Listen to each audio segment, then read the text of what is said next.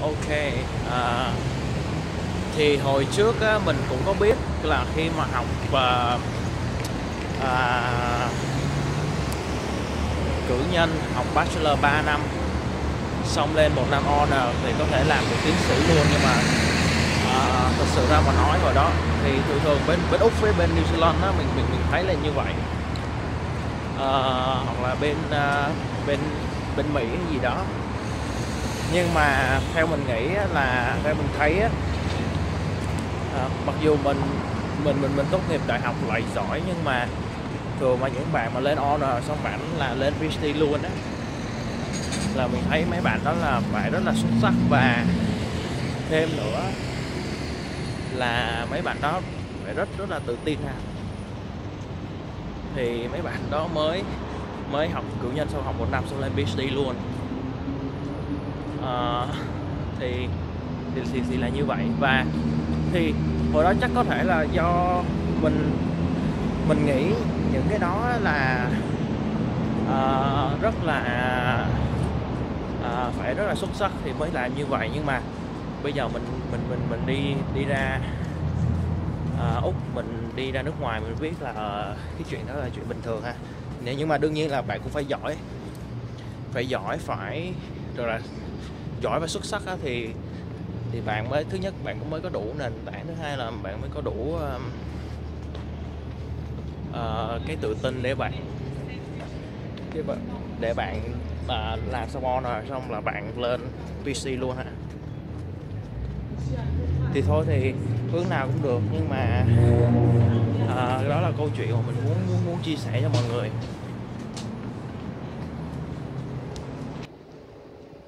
ok đây bây giờ mình đang đứng ở uh, này hơn gọi là được gọi nó là cái trung tâm đi ha trung tâm của uh, đại học UTS đó thì là thường thường trung tâm á, cũng giống như hồi nãy ở đảo New South Wales thôi thì là trung tâm nó sẽ có một cái khu để cho mà mọi người ngồi xung quanh có tòa nhà. Thì mình sẽ cho mọi người lia một vòng cho mọi người coi ha. Đó. Đây đây là cái tòa nhà mới nè. Đó. Thấy đẹp không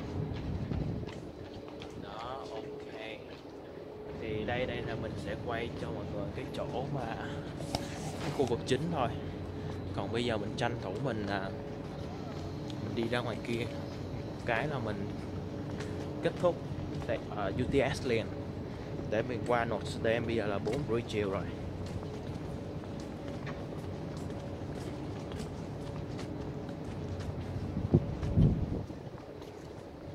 Đây ra đây một chút cho mọi người coi. Cái view ở đây đó.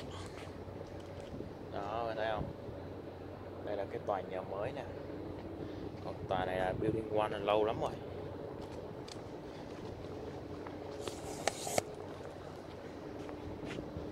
đó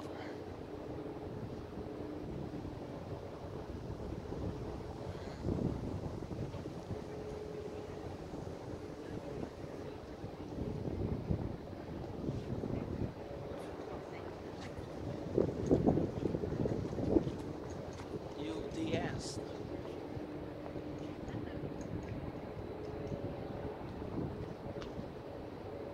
thấy không xung quanh này cả cái phố này. À, thì tùy những cái trường ở trung tâm nó thường thường là nó nằm trong phố thì giống như RMIT vậy. Tức là xung quanh này là đều là là, là, là những cái tòa nhà xung quanh này là của đại học UTS hết giống như RMIT vậy đó. Đó mình thấy tòa nhà này nó cao dữ không? Cao mà lên rồi vượt sáng cái gì luôn. Rồi ok bây giờ mình đi xuyên qua này là để mình kết thúc ở đây nha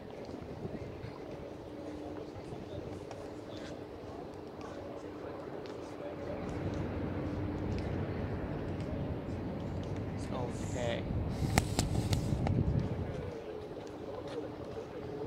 rồi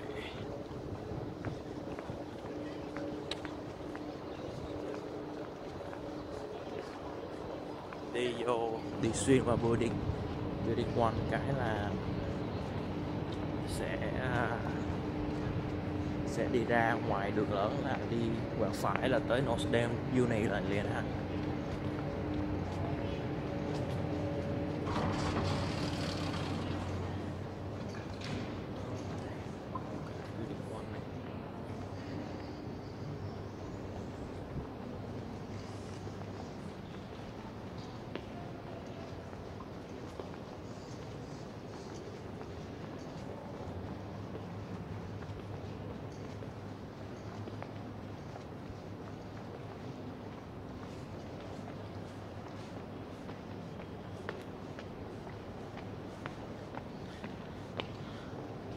Ở nước ngoài lúc nào cũng vậy ha. À, à, phương tiện công cộng rất là tiện nhưng mà à, một khi mà đã đi muốn đi những cái địa điểm là phải đi bộ rất là nhiều.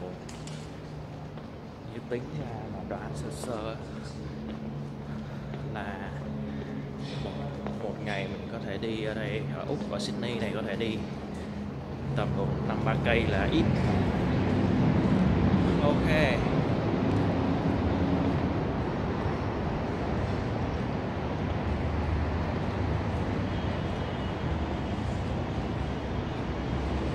đó mình ra khỏi cái tòa nhà rồi đó.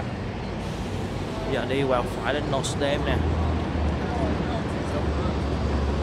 Bên này như là một cái shopping mall đúng rồi. Uh, Central Park Mall. Uh, rất là lớn luôn bên này. Đây cho mọi người coi UTS một cái.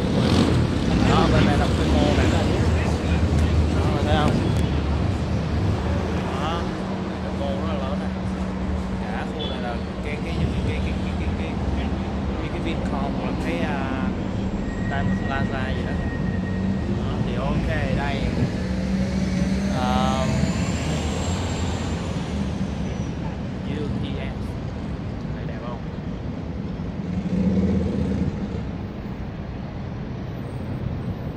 đó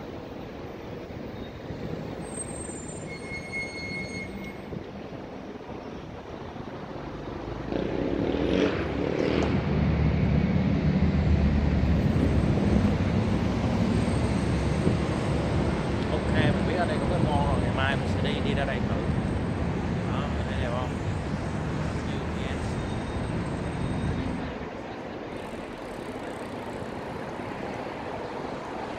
ok rồi kết thúc video đây nha.